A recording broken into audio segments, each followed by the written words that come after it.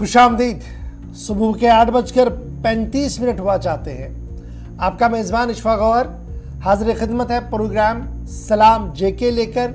और आज के इस सलाम जेके की नशरियात में भी हम ख़बरों से ज़रूर आगाज़ करेंगे। जम्मू कश्मीर की हर छोटी बड़ी खबर से आपको बाखबर करेंगे। मरकज़ की तरफ़ से लिए गए फैसलों से भी आपको बाखबर करेंगे।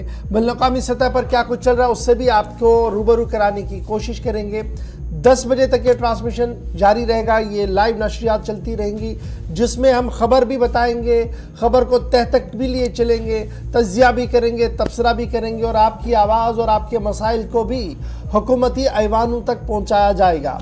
यानी तीन पड़ाव इस प्रोग्राम के होते हैं। जब आठ बजकर पैंतीस मिनट में हम शुरुआत करते हैं तो नौ बजे पर पहले एक ब्रेक होता है, उसके बाद नौ पैंतीस के आसपास दूसरा ब्रेक होता है और ब्रेक के फ़ौरन बाद हम जब तीसरे पड़ाव पर आते हैं, नौ बजकर चालीस मिनट के आसपास तो आपकी और हमारी बरह रास्त गुफ्तु होती है, हमारी फ़ोन लाइन पर आपके साथ बात होती है और आप अपनी आवाज़, अपने मामला और अपने मुश्किल हुकूमत के सामने रखने की कोशिश करते हैं। इस उम्मीद के साथ कि इदारे आपकी बात को सुने और उस पर अमल दरामद भी हो।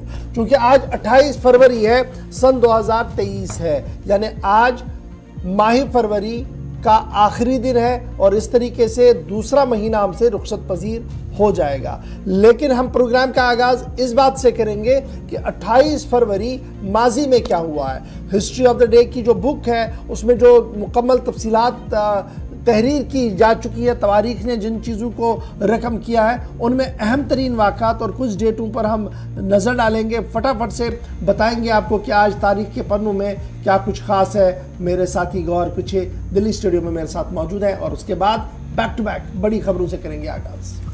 बहुत बहुत शुक्रिया इशफाक और। तो प्रोग्राम की शुरुआत है फॉर्मेट के मुताबिक तारीख में आज के दिन के हवाले से। आज 28 फरवरी, यानी कि फरवरी का आखिरी दिन है और आज इस दिन के हवाले से मुल्क और आलमी सतह पर क्या कुछ हुआ है? चंद अहम मालूम वाक़ात हैं जो हम आपके साथ शेयर कर रहे हैं। और आज ही के दिन 28 फरवरी साल 1922 में मिस्र ने बरतानिया से दोबारा आज़ादी हासिल की, मगर बरतानी फौजें मिस्र में ही मौजूद रही। और आज ही के दिन साल उन्नीस में अमरीका और मिस्र के दरमियान सात साल बाद दोबारा सफारती रबते बहाल हुए। और आज ही के दिन 28 फरवरी साल उन्नीस में पहली खलीजी जंग का इख्ताम हुआ। और आज ही के दिन 28 फरवरी साल उन्नीस सौ सतानवे में अमेरिका में 18 साल से कम उम्र के लोगों पर सिगरेट की फरोख्त ममनू करार दी गई। आज ही के दिन 28 फरवरी साल उन्नीस सौ चौवन में अमेरिका ने बिकनी जजीरे पर माहौलियाती एटमी तजुर्बा किया है। और आज ही के दिन साल 1988 में अजरबैजान में अर्मेनी मुखालिफ कत्लेआम हुआ है, जिसके नतीजे में 30 अफराद हलाक, जबकि मुतद जख्मी हो गए। और आज ही के दिन 28 फरवरी साल 1990 में डच पुलिस ने 3000 किलोग्राम कोकीन जब्त की। वो एक ही दिन में 3000 किलोग्राम कोकीन जब्त किया है। और आज ही के दिन 28 फरवरी साल उन्नीस में पाकिस्तान में जलजले से 45 अफराद हलाक हुए थे वो आज ही का दिन था 28 फरवरी और साल उन्नीस तो नाजरीन, ये थी 28 फरवरी तारीख में आज के दिन के हवाले से चंद अहम मालूम जो हमने आपके साथ शेयर किया है। अब खबरों की शुरुआत होगी और खबरों की शुरुआत करेंगे इशफा गौहर। चलिए जनाब, खबरों का करते हैं आगाज़ और सीधे चलेंगे आज जनूबी कश्मीर, जहाँ से रात देर गए ये खबर मिली थी कि सुरक्षा में यानी जो इंटेलिजेंस के इदारे हैं और जो सिक्योरिटी एजेंसीज हैं, उन्हें ये इतला मिली थी कि वहाँ पर एक गाँव के अंदर मिलिटेंट छुपे बैठे हैं, जिसके बाद कोऑर्डिनेट सर्च ऑपरेशन पुलवामा के इलाके के अंदर शुरू किया गया था और सुबह होते होते खबर सामने आई कि पदगामपोरा नामी गाँव के अंदर मिलिटेंटों और फौज के बीच झड़प शुरू हुई है और उस झड़प के दौरान इब्तदाई मरहले में एक मिलिटेंट के मारे जाने की तस्दीक हुई है। ताहम अभी इस एक मिलिटेंट की शिनाख्त होना बाकी है, लेकिन ऑपरेशन इस इलाके के अंदर लगातार जारी है। पदगामपोरा अवंतीपोरा पुलवामा ज़िले का इलाका है। अवंतीपोरा के पास पदगामपोरा का गाँव है, जहाँ पर रात देर गए इंटेलिजेंस इदारों को ये इतला मिली कि वहाँ पर मिलिटेंट छुपे बैठे हैं, जिसके बाद ज्वाइंट कोऑर्डिनेशन के तहत जम्मू कश्मीर पुलिस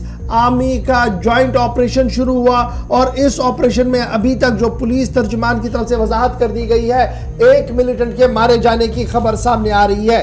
तहम इसी ऑपरेशन के दौरान, पदगामपुरा ऑपरेशन के दौरान जवान, फौज के दो जवान भी जख्मी होने की खबर आ रही है। एक मिलिटेंट के मारे जाने की खबर, दो आर्मी के जवान जो है वो जख्मी हुए हैं। तहम पदगामपोरा इलाके के अंदर इस वक्त ये ऑपरेशन रात देर गए से लगातार जारी है। तमाम खारजी और दाखिली रास्तों को बंद कर दिया गया है। यानी किसी को भी अंदर या अंदर से बाहर आने की इजाज़त नहीं दी जा रही है। सीआरपीएफ को बाहर डिप्लॉय कर दिया गया है। जहाँ पर भी चौराहे हैं, जहाँ पर भी एंट्री और एग्जिट पॉइंट्स है, वहाँ पर सीआरपीएफ के साथ साथ जम्मू कश्मीर पुलिस को तैनात कर दिया गया है। अंदर स्पेशल ऑपरेशन ग्रुप और जम्मू कश्मीर पुलिस के, का जो खसूसी दस्ता है और आर्मी जो है वो लगातार इस ऑपरेशन को कर रही है और अभी तक एक मिलिटेंट के मारे जाने की इतलात जो आ रही है और थोड़ी देर पहले कश्मीर जोन के जो इंचार्ज हैं एडिशनल डायरेक्टर जनरल पुलिस, उनकी तरफ़ से भी एक ट्वीट करते हुए ये साफ़ कर दिया गया कि ऑपरेशन शुरू है और इस ऑपरेशन में अभी तक जनाब एक मिलिटेंट मारा गया। सीधे ग्राउंड ज़ीरो पर चलेंगे। शेख काउसर इस वक्त हमारे साथ है, क्योंकि पदगामपोरा का इलाका है, जहाँ पर बीती रात ही ये इतला आई थी कि मिलिटेंटों की मौजूदगी के बाद वसी इलाके का इस गाँव का और आसपास के इलाकों के अंदर कोऑर्डिनेट सर्च ऑपरेशन शुरू किया गया। लेकिन आज सुबह सुबह खबर आई कि इस ऑपरेशन के दौरान एक मिलिटेंट की मौत अभी तक हो चुकी है। ताहम दो आर्मी के जवान भी जख्मी हुए। शेख काउसर ग्राउंड ज़ीरो पर हमारे साथ मौजूद है।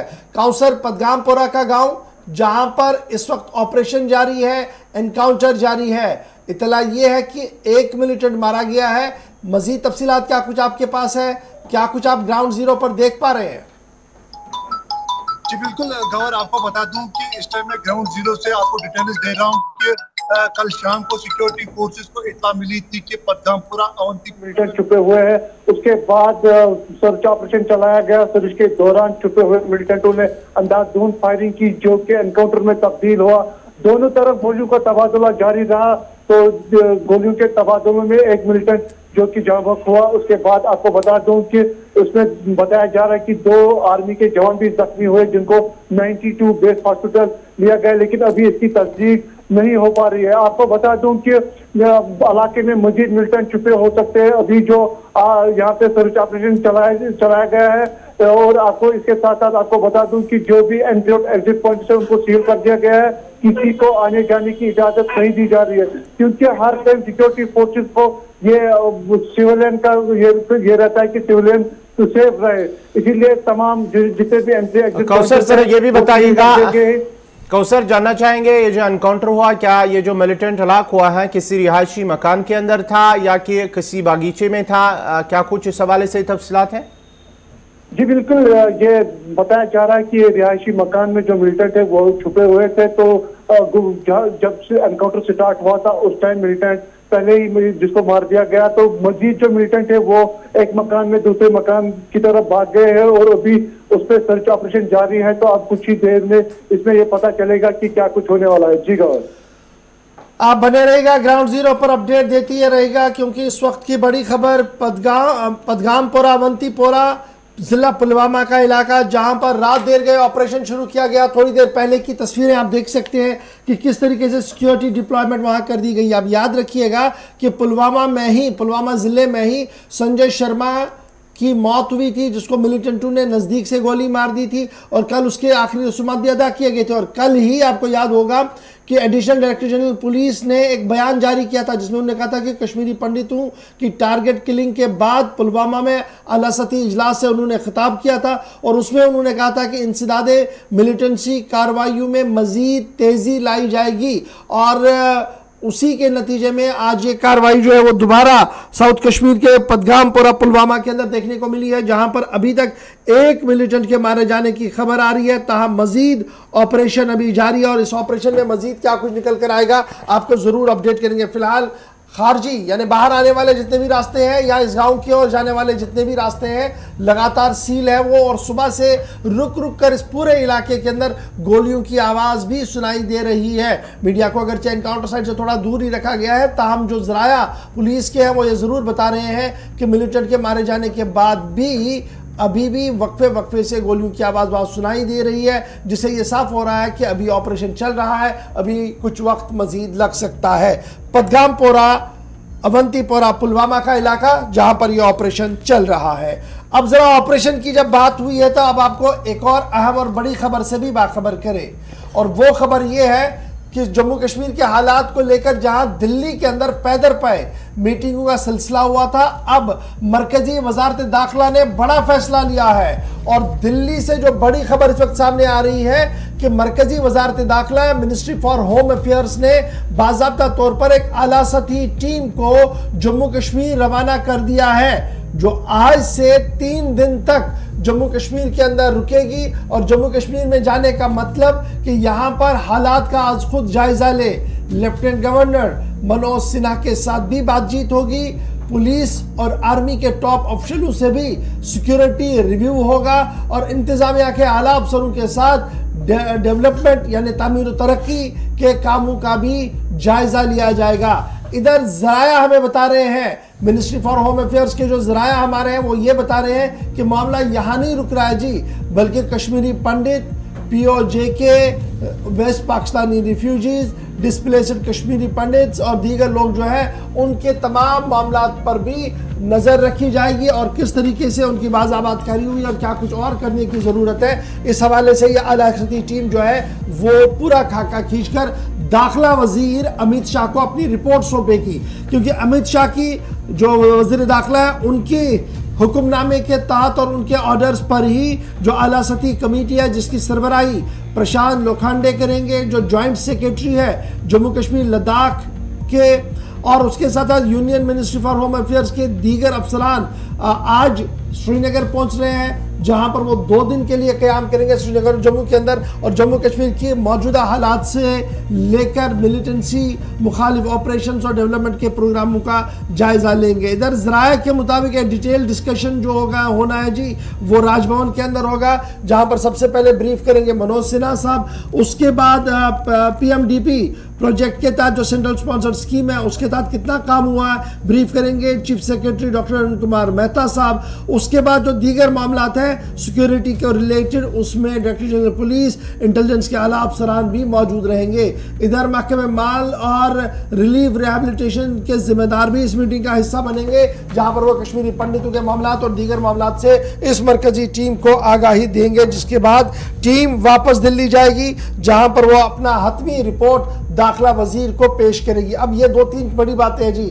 28 तारीख आज कल पहली और दूसरी तारीख तक यहाँ पर रहेंगे। उसके फ़ौरन बाद आपको याद होगा कि जम्मू कश्मीर दिल्ली के अंदर बजट सेशन भी है सेकंड सेशन यानी पहला सेशन तो हो गया बजट का, दूसरा पार्ट है बजट का। और यहाँ पर दूसरे पार्ट में हमें यह उम्मीद है कि जम्मू कश्मीर के मालियाती मीज़ानी को पेश किया जाएगा। यहाँ की रिपोर्ट आना मालियाती मीज़ानिया के साथ उसको जोड़कर भी देखा जाता है और गुजशत कई दिनों से जो सूरत दोबारा टारगेट किलिंग के बाद कल से उभरी है, उसको किस तरीके से हैंडल किया जाए, क्या कुछ मजीद करने की ज़रूरत है? और कश्मीरी पंडितों की नाराज़ नाराज़गी को किस तरीके से दूर किया जाए, क्योंकि कल भी वो सड़क पर थे और एहतजाज कर रहे थे कि उनकी रिलोकेशन हो, उनको तब तक बाहर रखा जाए जब तक हालात पूरी तरह से साजगार ना हो। इस पर भी एक हतमी फैसला लेने की बात जो है वो सामने आ रही है। तहम बड़ा और अहम कदम वज़ीर दाखिला अमित शाह की तरफ़ से उठाया गया है, जिन्होंने हाई लेवल टीम को जम्मू कश्मीर रवाना किया है और आज से तीन दिन तक ये टीम जो है, वो जम्मू कश्मीर के अंदर रहेगी, जहाँ पर तरक्याती मंसूबों से लेकर एंटी मिलिटेड ऑपरेशन तक उनकी नज़र रहेगी। रिपोर्ट बनाएँगे और दाखिला वज़ीर को